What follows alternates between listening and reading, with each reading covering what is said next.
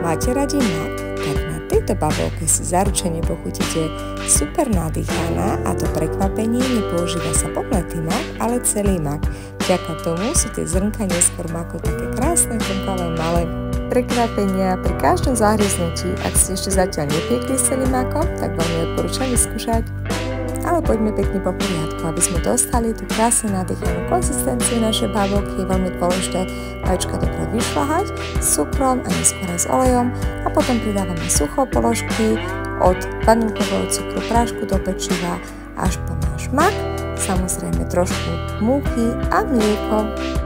Z týchto surovín si vyrobíme naše cesto, ktoré potom nalejeme do vymastlenej babovkovej formy a necháme piec pri maximálne 160 stupňov zhruba 45 minút.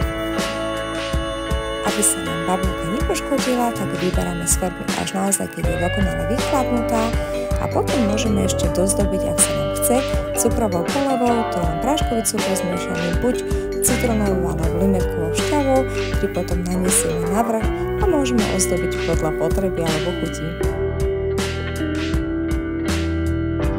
Ak hľadáte рецепты на варенье по нашей родине.